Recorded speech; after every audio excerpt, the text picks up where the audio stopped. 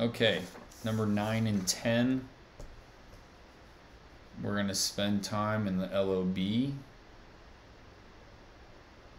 Take a little time to draw this one up. UK Limited owns 50% of Inc.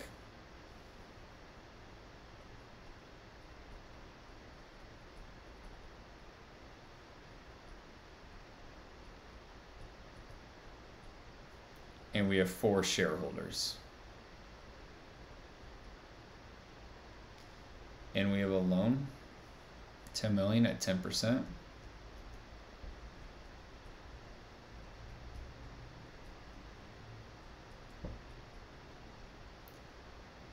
One, two, three, four. For shareholders, we have Pierre, 20, oops.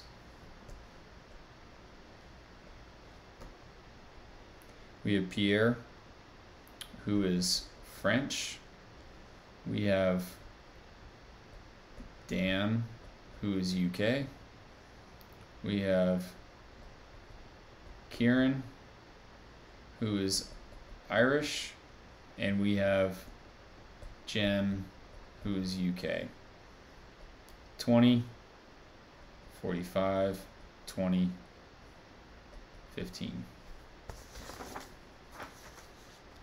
UK earns 100 million of gross income, which would be inclusive of the 1 million. UK Limited pays a firm in Hong Kong for rights of the use of IP of 20, so a 20 million dollar royalty or license payment deductible. And all other expenses in the UK are paid or incurred to persons that are UK tax resident. Based on the facts, does it seem likely that the UK Limited would meet the stock ownership and base erosion test? So the stock ownership and base erosion test is, I think, in 1303, 1302, excuse me, page 663. We'll talk about the treaty in a second. Let's just read what the textbook says. A corporation qualifies for treaty benefits under this test if both at least 50% of the corporation's stock is owned by residents who are entitled to treaty benefits. Stock ownership test and less than 50% of its corporation's gross income constitutes deductible payments to persons who are not resident of either treaty country. Base erosion. If you go to the treaty itself, it would be sitting in, and, and the language is a little bit dense, but good exercise to read through. Article 23, paragraph 2, F starting out a person other than an individual if Roman numeral 1 is the base, or excuse me, the stock ownership, Roman numeral 2 is the base erosion. So, what do we have here then? What we have is we have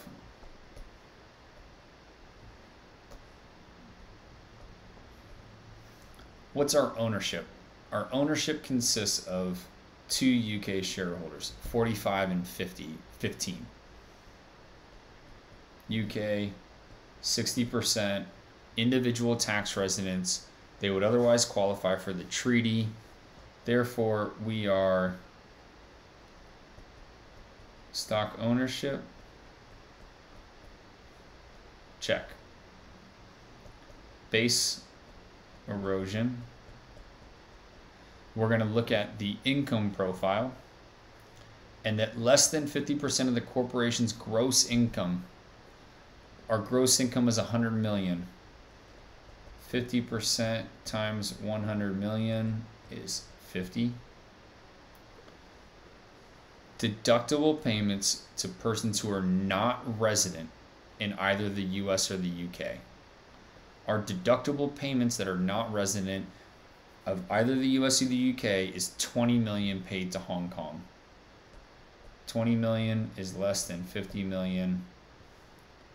We are okay on the base erosion. So what are we trying to get at here? Base erosion, stock ownership. The treaty is preventing or is intended to prevent, excuse me, the limitation on benefits article is intended to prevent treaty shopping. If you can meet the stock ownership and you can meet the base erosion, you're not treaty shopping. You have substance. The majority of your shareholders, beneficial owners, are UK tax resident, and you're not having deductible payments erode the tax base to persons outside of either the US or the UK. This test here is the most common test to approach. Uh, there are others in there that are great to understand. Book does a great job at to uh, summarize them. We will not spend time looking at the other ones. Uh, oh, forgot number 10. So last bit then. UK Limited also has an Irish subsidiary.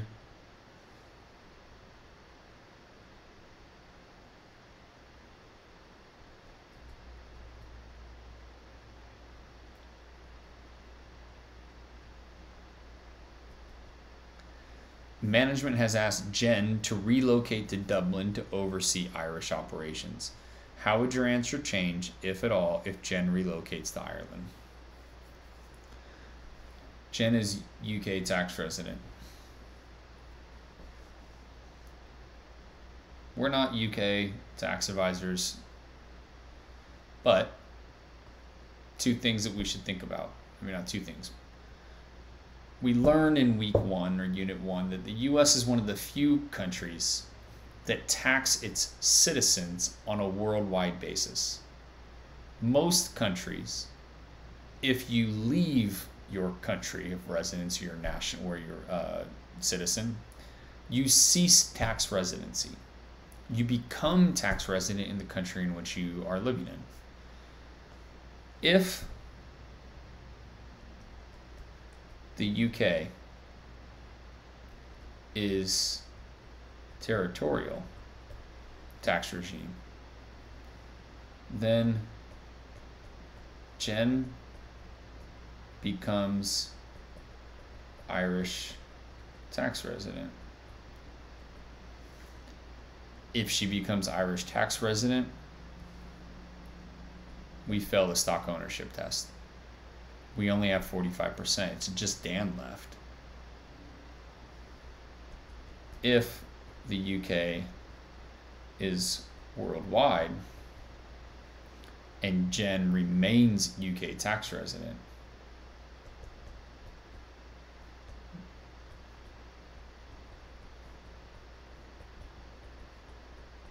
we're still okay.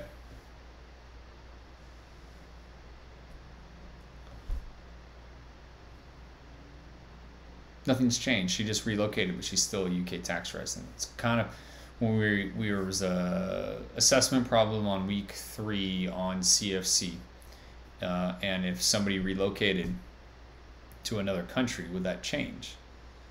And the answer from a U.S. perspective is not really because assuming or if she is U.S. citizen or green card holder, nothing changes whether she lives in country X or country Y. The point here is this is fluid. Uh, you can meet the base erosion test, stock ownership test in one year, and you cannot meet it the next year. If you have a change in your deductible payments one year, better or worse. It could change your outcome on this particular LOB, and ultimately it could, if I flip back, your withholding tax. All right, that is um, all of it. Um, let me know if you have questions.